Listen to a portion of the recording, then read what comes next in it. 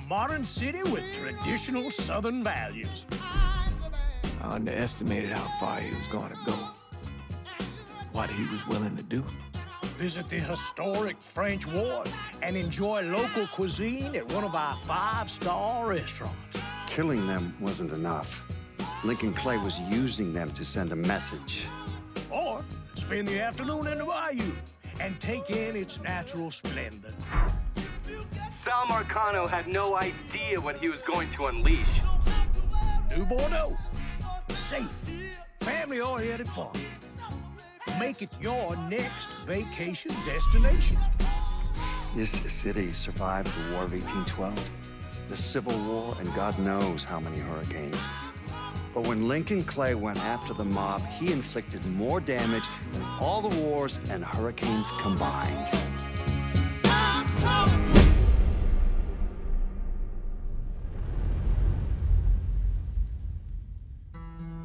Lincoln's mother abandoned him in oh, 1947, a couple of years after he was born. His mother, I heard she was Dominican. I always figured his father was white, maybe even not Italian. Not that it mattered. Back then, if you look black, you black. Same as today, I suppose. He stayed at the orphanage until 1958. Now, when did you meet Lincoln Clay? 1966. I was running Black Ops out of Laos on behalf of the CIA. He was loaned out to me via joint CIA-DOD task force. He was a quiet boy. Good boy. Two Purple Hearts, a Bronze Star, and the Distinguished Service Cross. He served his country with honor and distinction. After the city closed the orphanage, he fell in with Sammy Robinson. Sammy ran the black mob over in Delray Hollow. I can't say I approve, but often colored boys didn't have a lot of options back then. Boys like Lincoln, ones who've been abandoned, they're always looking for a home. Always looking for a place to belong. I think he thought he'd find it in the army. Thing is, once that's lost, can never get it back again. When he returned from the war, Lincoln ended back up over at Sammy's. Now, Sammy owed the Italian mob a whole lot of money. And he needed Lincoln's help. It's a damn shame what happened.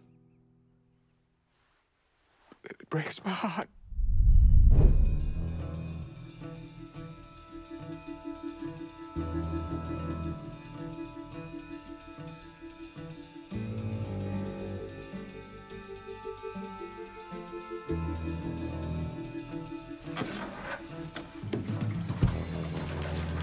Still say this is the craziest goddamn thing I ever heard.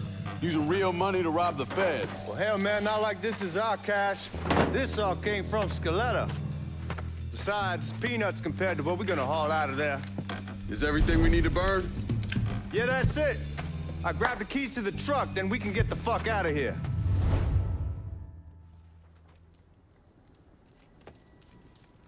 Hey, man, grab those keys.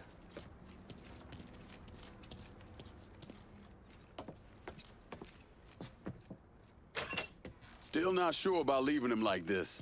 He came through with the truck just like we asked. Hmm, all right then, that's that. Goddamn. Keys in the other room.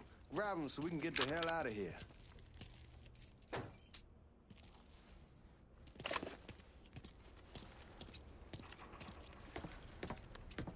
We should get going. You got the keys so you can drive. Come on, let's get the hell out of here.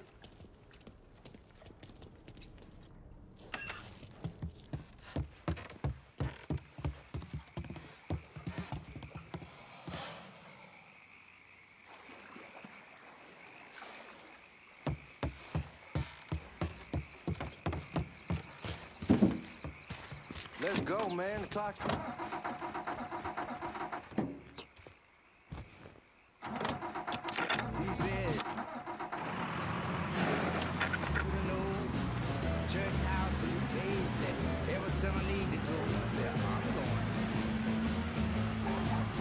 Take it easy heading to town. We don't need the cops crawling up our asses.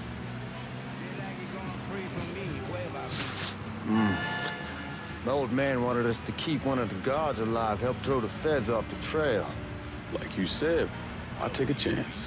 Besides, if I learn anything from being over in Nam, someone's willing to flip sides once, they're probably willing to do it a second time. Fuck you in the process. So answer me this. What's the craziest thing you saw over there? You don't want to know. Hell, man, I'm a taxpayer. I got the right to know how my money's being spent. Oh, Georgie Marcano pays taxes. Damn right I do. That's how they got Al Capone, and I ain't going to prison for no fucking tax bill. Huh. You gonna answer the question or what? We, uh...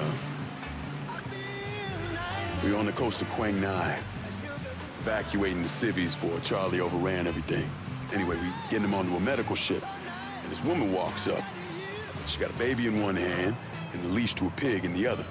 She starts up the ramp, and the MP stops her, tells her, you can only bring one thing on board. So she tosses the baby into the water. MP goes ape, tells someone dive in after the kid, starts screaming at the woman, wants to know what the fuck she's thinking. You know what she says to him? She says, I can always have another baby. Jesus fucking Christ. Hey man, you asked. yeah, but I thought you were gonna tell me a story about some gook getting his dick blown off or something. I mean, god damn. It's not a fault. But not like you think. Conditions over there, man. Jesus Christ. One day you're raising cattle, tending your rice. Next day everything bombed flat. You put people up against the wall, they will do anything to survive. That better been one delicious fucking pig.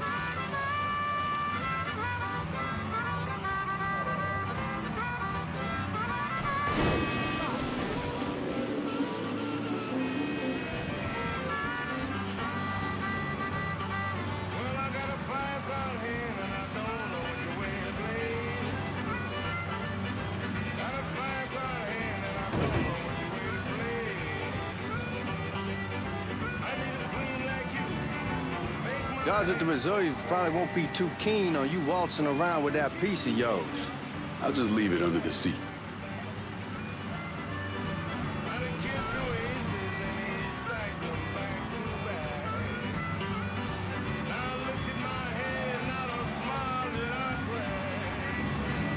Time to see if these forged IDs are worth a fuck.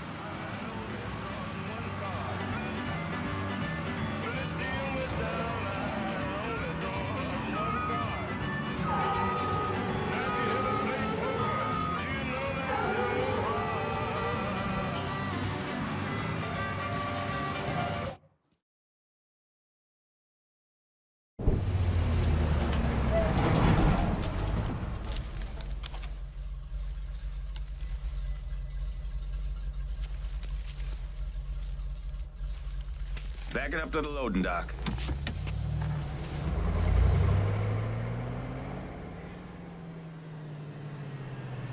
Some of these fellas might get a little uh, rough with the language, and... Well, ain't like I never been called nigger before. Nah, I know, but I'm just saying, if I go along with it, ain't nothing personal. The only thing I care about is getting our hands on that money.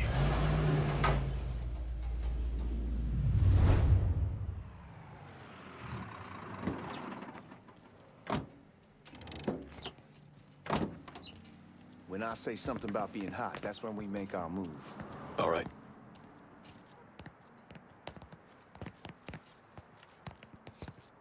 Ah, here we go. Put your IDs up to the glass. We're part of the Boeing crew.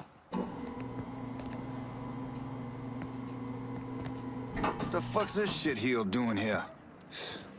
Affirmative action. You know how it is.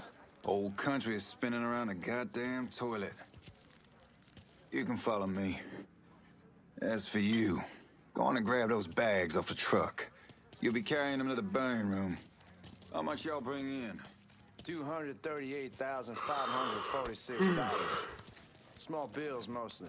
I'll have Miss Gale call up your office when we're done. She'll confirm the delivery. Appreciate it.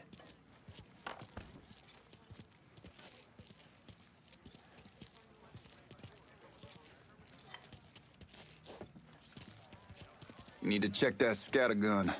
You packing anything? Still in training. Good. One less goddamn thing for me to worry about. You can pick it up on the way out.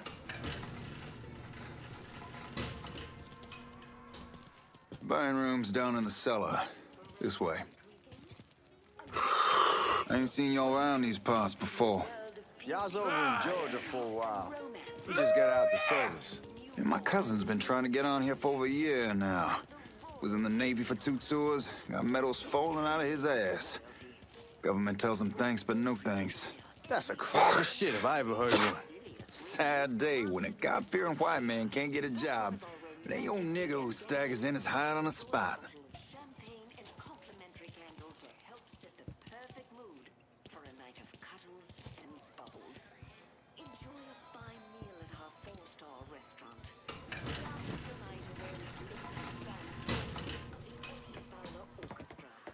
You bastards better not be playing with each other back there.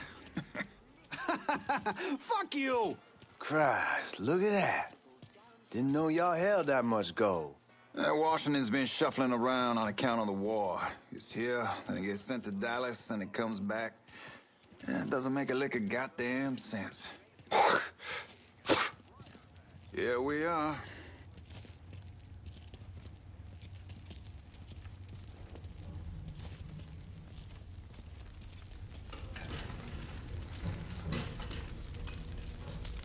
Put those bags on the table there.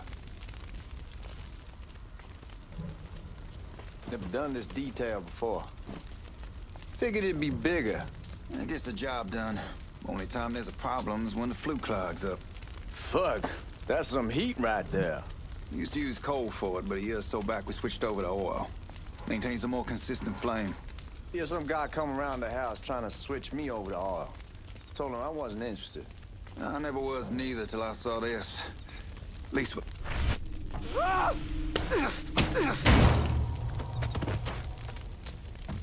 God, that guy was an asshole.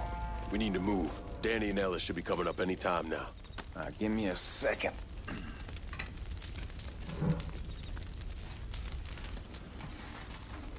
All right, you take care of those guards. Keep your ass down. You don't want them getting a drop on us. I know what the fuck I'm doing.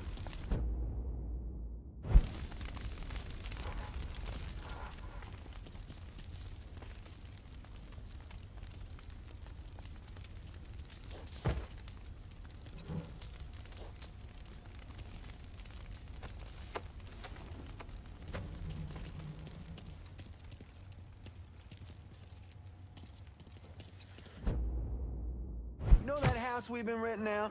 Called over there last night. Told them I wanted to sell it. Told them they needed to be out in two weeks. The man, his name's uh, John, starts laying into me, saying the lease gives them the right to a 30-day notice. That's how he's supposed to find a new place in two weeks. So I tell him none of that's my goddamn problem. It's my property, and I'll do with it what I please. And if it brings up that fucking lease again, I'll use it to wipe my ass and make him eat it. Not only that, I know he's friend.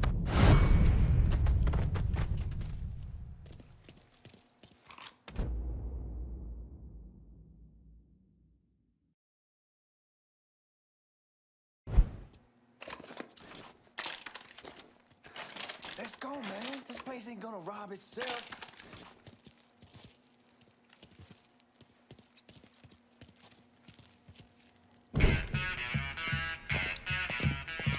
Oh, I hope this combination Scaletta got us is legit.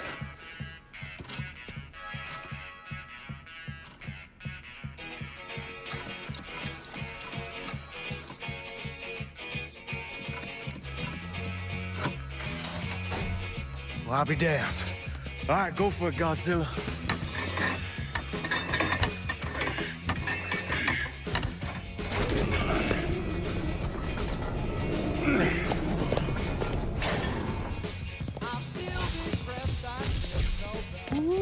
Holy fucking shit. It's beautiful. All right, I'm gonna take care of this room. You see what you can get from outside. Once these boys punch through with that drill, we're gonna start throwing this down.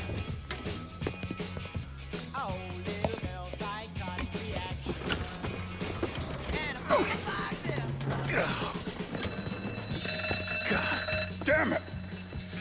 You triggered the fucking alarm? Shit, I didn't notice this cage was on a different system. All right, we're gonna hold off the guards until Danny's done drilling. Hey, we're gonna pull this off.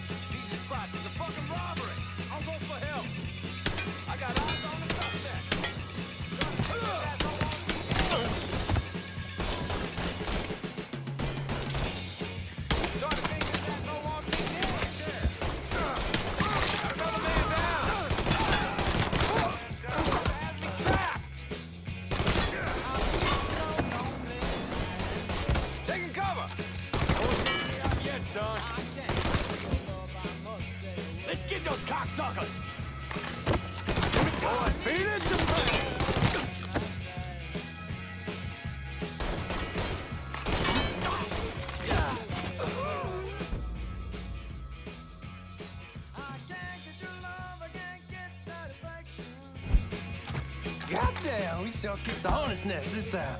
Only way we walk out of here is if we get the weapons stored in that armory. Bust the door open. I'll watch our asses. My old man gonna shit a brick when he hears about this.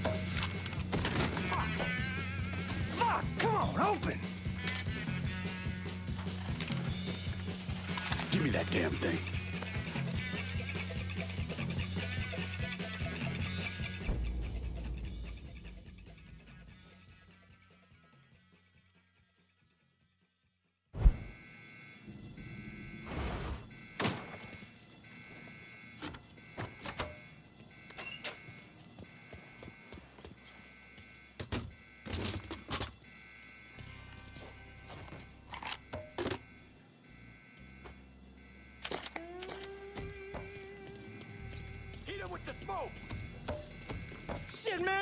Ain't fucking around.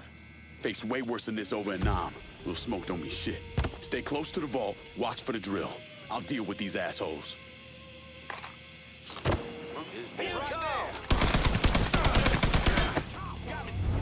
Well, Sammy had men all over the place.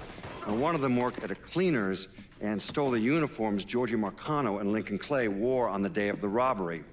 Another one was a janitor at the Federal Reserve, and he provided a rough layout. The robbery of the Federal Reserve was timed perfectly, and none of it would have been possible without the involvement of Sammy Robinson, Lincoln Clay, and the rest of the black mob.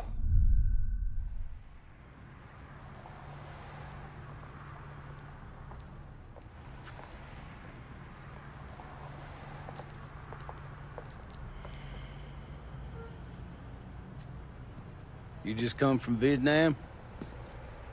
That's right. I was a Marine in the Pacific. You take it from me. Just because you're home doesn't mean you're back. You understand? Hmm. People around here, they don't... They don't get it. Never will. Keep your ass out of trouble.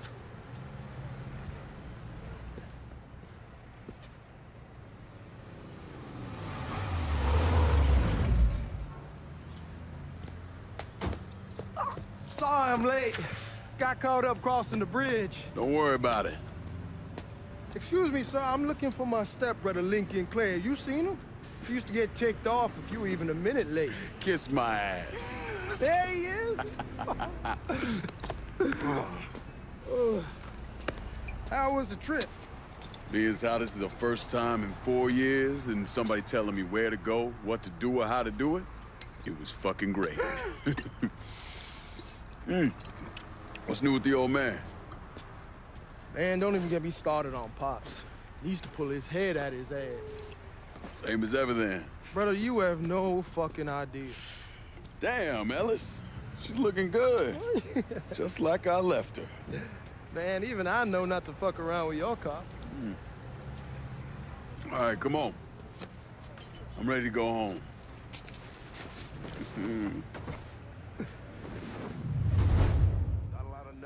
brandishing that thing.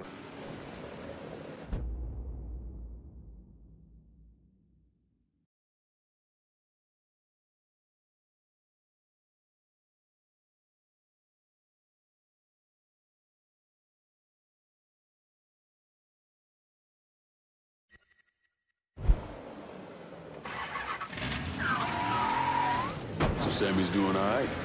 Ever since we got your telegram about coming home, he's been climbing the walls. What if the plane crashes? What if the train's delayed? What if they call him back? And he goes stand in front of the kitchen window and sip his whiskey like he was expecting you to come strolling up the sidewalk. Don't say nothing about me telling you that. I won't. He'll be fine once he sees you. Ever since Mama Hell, you know how he gets.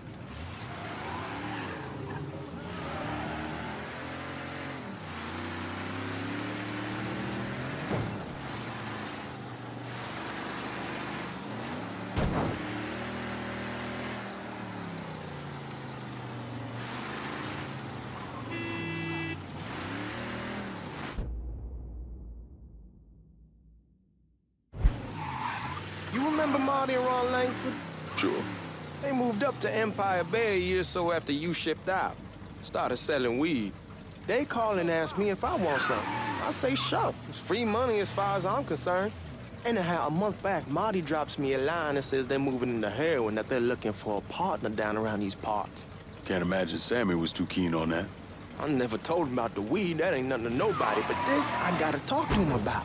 I ain't said more than three words and he's yelling about the feds. How we don't need J. Edgar up our asses and what the fuck am I thinking? Selling dope with kids running around the neighborhood. We ain't selling no dope to no children. like they got any money to begin with. Fucking around aside, heroin was pretty serious shit. Knew a couple guys over in Nam who were running it. Wound up pissing off the wrong person. Got their throats cut. Shit, man, I know what's what. That's why I'm talking to Georgie about it. There's no way Sal's gonna go along with that. Georgie says he can keep his old man from fighting out. We'll steer clear of the hollow in Frisco, just selling the French Ward. George's Uncle Lou won't say shit as long as we give him a taste of the action. I don't know, man. George is a cool cat and all, but heroin ain't the kiddie pool. Come in on it with us. I bet he'd agree to a three-way split. I don't know.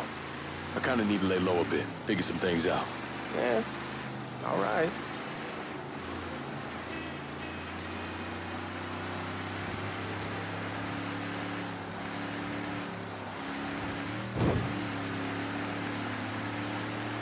You get settled in, I was thinking we could go to this new club in the French Ward. Maybe double date it. Who the hell am I gonna go with? Your great Aunt Beatrice? Oh, God. I ever tell you I accidentally saw her without a shirt once? Ooh. That woman has the droopiest, nastiest tits I've ever seen. they were like two sacks of potatoes with nothing in them. Yeah, like that was a fucking accident. Hey, man, fuck you. I was damn lucky to walk away from that one. Anyway, you'll go with Regine. Regine? Believe me, once you see her, you're gonna want to dig right in. that a fact? She got half the guys in the hollow sniffing around asking her out. Turns them all down. She's only got eyes for you, Lincoln Clay. Fuck you. Wait and see, man. One look and your pecker's gonna pop right out.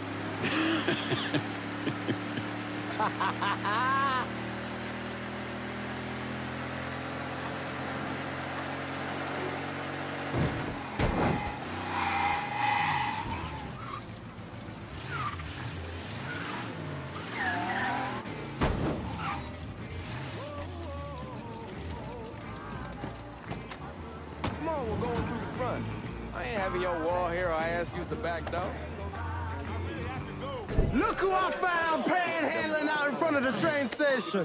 Pleasure, man.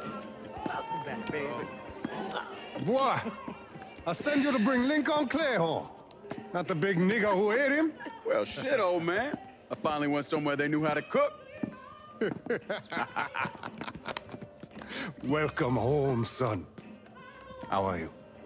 I'll be better once I get some of that shine in me. I always did love gone whiskey. I would like to make a toast. My father used to say that the real worth of a man came from the mark he left on the world. When Lincoln first told me he was joining the military, I was against it. Too dangerous, I say. Let those people fight their own war, I say. But then I realized Lincoln needed to go out and make his mark. And that's precisely what he did. I'm so, so proud of you. Paul Lincoln! Bienvenue à la maison! Paul Lincoln, bienvenue à la maison.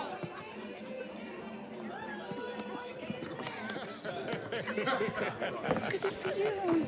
Looks so good. nice seeing you, Lincoln. Oh, I kept you in my prayers. I really appreciate that, Father. Now who wants to get shit-faced? It's hard to explain what it's like coming home from war. Elation, fear, guilt.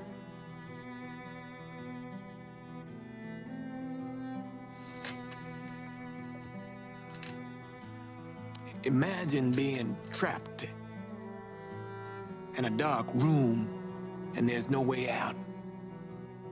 And every fear, every nightmare you ever had is in that room with you. And there's no escape from any of it. And then one day, a door opens and you're free to go. Just like that. The thing is, you made your peace with your terror and your fear of death. And now part of you is afraid to leave it behind. But what choice do you have? Every soldier has to walk through that door, one way or another.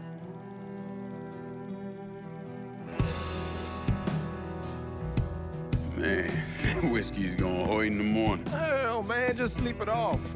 The room's the same as you left it. I'm gonna take the basement. The basement? Why the fuck you want to crash down there? I'll see you in the morning. Man, that wall must have really fucked you up.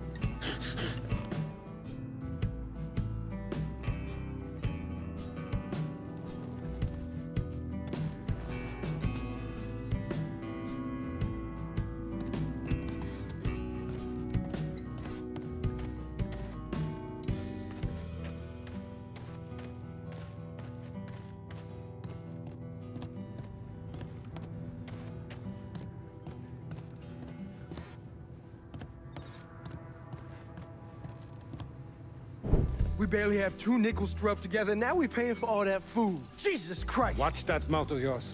We wouldn't be in this mess if you would have listened to me. What mess? It's not something you need to worry about, Lincoln. I got it under control. Under control. God damn it, you need to Boy, I'm not eyes. warning you again. Have it your way, old man. Let him be. He needs to cool off. You mind telling me what's got him so riled up? We've been having uh, problems with the Haitians. But like I say, I got it under control. Well, truck's all loaded up. I figure we got enough out there for... Should I, should I come back? In honor of your returning to us safe and sound, I made a donation to Father James here. Supplied him with food he can hand out to some of our needier family. Well, I was hoping you'd lend me a hand, Lincoln, and give you a chance to see the neighborhood. This thing with the Haitians, how serious is it? Ah, you know Ellis. Someone looks at him the wrong way, he's on them like a wet dog. Like I said, I can uh, come back. Nonsense. Lincoln needs to get out. Enjoy the day. Besides, be good for the two of you to spend some time together. Go on. Those people waiting on their food. Oh, I saw Lincoln a couple times once he was first back. he told me he wanted to leave town, head out to California. Now, he had a friend in the service who could get him a job working at the Mare Island shipyard. And the only reason he came back was to tell Sammy and Ellis goodbye. But then he found out about the trouble Sammy was having with those Haitians. So we decided to stay and help. Those Haitians, they are bad news.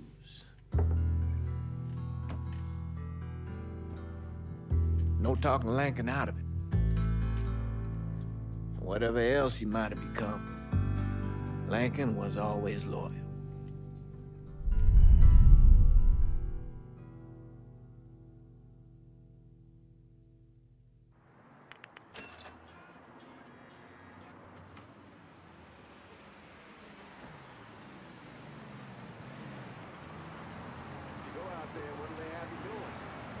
Welding, most likely.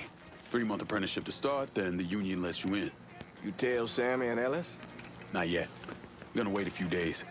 Didn't want to spring it on them since I just got back. Well, they won't like to hear it, but they'll come around. You need to do what's best for you. Go ahead and start serving those folks. I'll be back.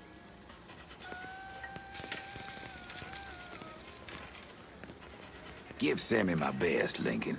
Yes, sir.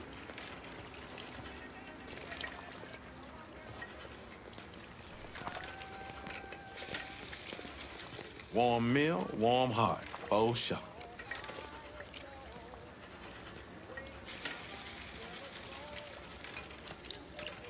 Thanks. Hello? You delivering a real blessing here, Lincoln. Thank you. Blessings mine, ma'am. Couple days back and they already got you working? Ah, I'm happy to do it. Means a hell of a lot to all of us.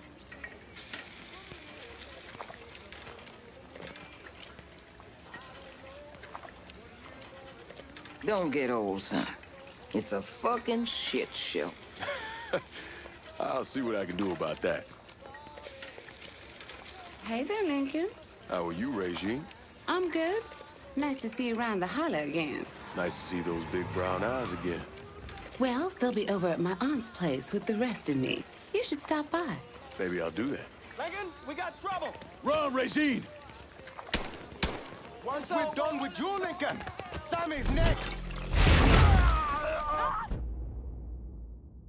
Ah, what? Don't think about it. Shoot him. Ah.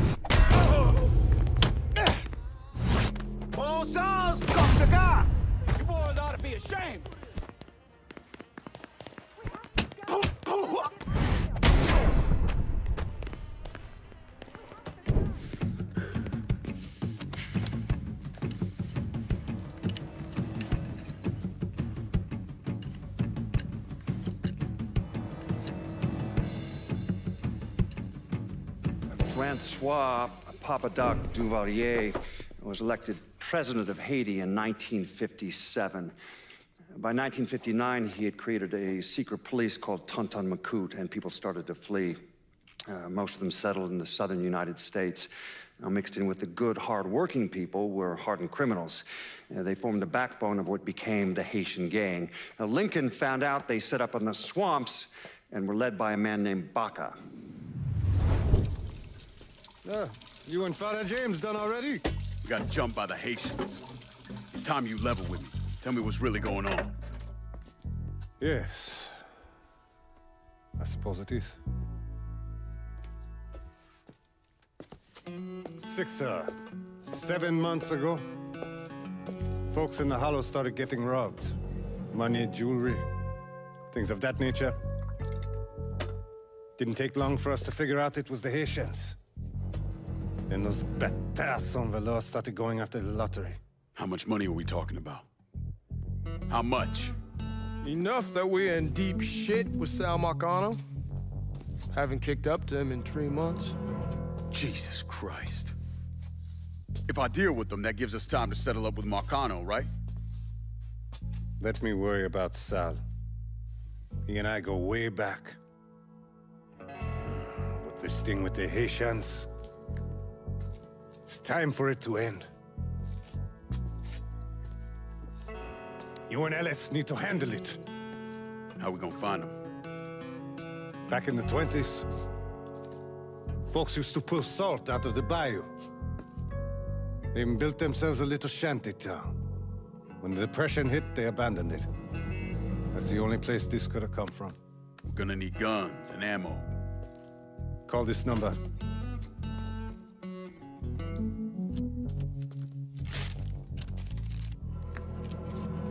Do it away from here. No sense tipping anybody off. Or we could sweep the hollow, track down and kill every last one of those cocksuckers, then we wouldn't have to worry about it. The last thing folks in this neighborhood need to see is colored people killing each other. Do this quiet. Away from here. Once we eliminate whoever's running the show, the rest of them will go down on their own. Trust me. All right, soldier boy. I'll follow your lead. Be careful here. Those Haitians are a hard people. Do not ever underestimate them.